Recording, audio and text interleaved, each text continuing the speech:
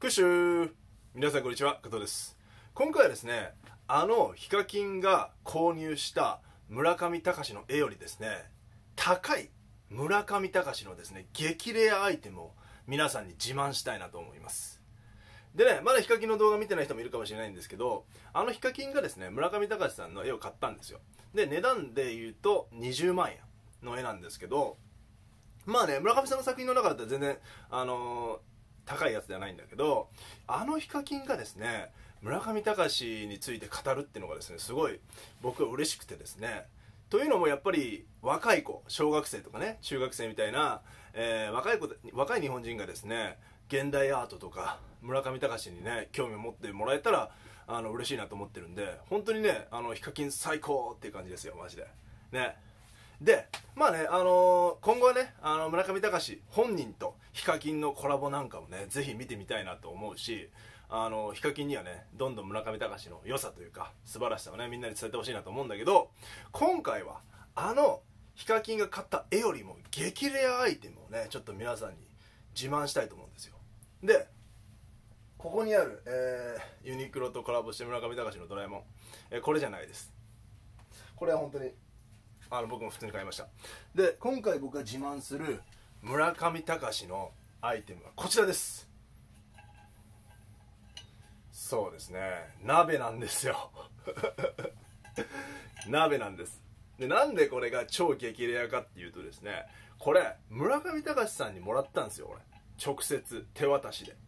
やばくないですか？これ村上隆さんに俺直接もらったんですよこの鍋。でなんでかっていうと話の経緯をすると僕が村上隆さんのスタジオで働いてた時に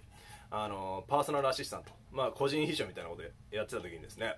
村上さんがねあのあ村上さんの、えー、事務所っていうんですかね。スタジオ内の村上さんの社長室みたいなとこあるんですけどそこの掃除をするのが僕のまあ仕事の一つだったわけですよ。でそれで仕事してる時にですね村上さんがなんか突然ですね「やあやべえ!」みたいなこと言い始めて。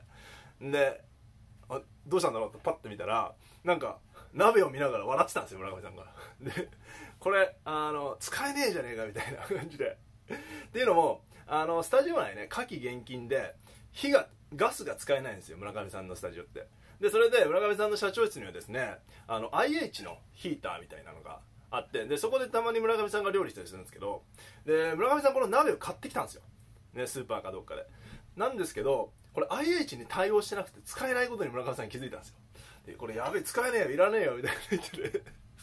欲しいやついるか？みたいな言った時に俺ちょうどいたんで俺村上隆さんの大ファンなんだよはい欲しいですみたいな感じで言ってもらったのがこれ村上さんにもらった鍋なんですね。で多分ね世界中であの村上隆に鍋をもらった人って多分俺しかいないと思うんですよ。